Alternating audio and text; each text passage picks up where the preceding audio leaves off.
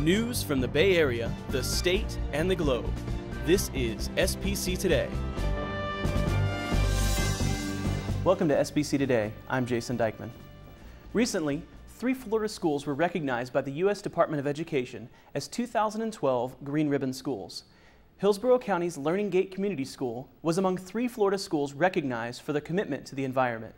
The Green Ribbon Schools Award Program was established this year to recognize a school's exemplary achievement in environmental impact, health, and education. Winners of the Green Ribbon experience national and local press coverage, enhanced community support, and private financial assistance.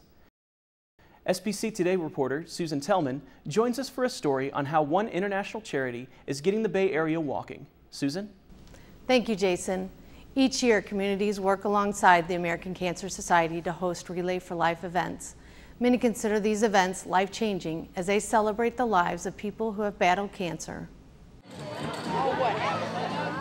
Come springtime each year, flowers blossom, days get longer, and people begin walking to support finding the cure for an illness that has affected all of us in some way. Relay for Life is an international fundraising event to find a cure for cancer.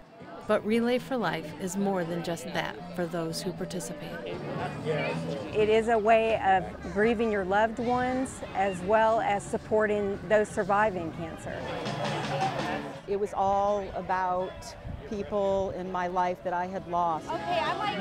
It's safe to say that everyone knows someone who has been affected by cancer.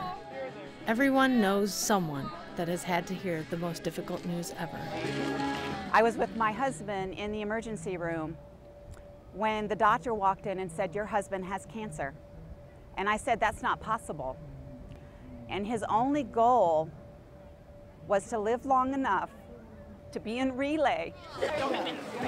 Everyone at Relay for Life is looking for a better tomorrow, a tomorrow where someone will find the solution to the problem so many of us struggle with every day a cure for cancer. All right.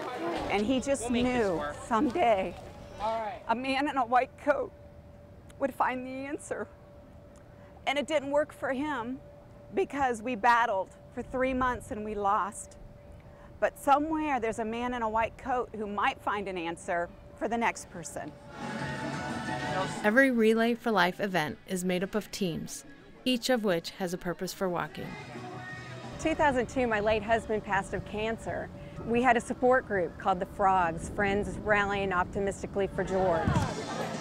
We would try to develop a theme that centered around finding a cure. And that's what all the, the fundraising is about. It's about a cure. I'd like to take a moment. Many Relay for Life events are happening in your community during this time of year. Event organizers encourage everyone to join a team today at relayforlife.org and start walking for the cure. Thank you for that report, Susan. That's all for this week's edition of SPC Today. I'm Jason Dykman. SPC Today is a student production of St. Petersburg College in partnership with WEDU.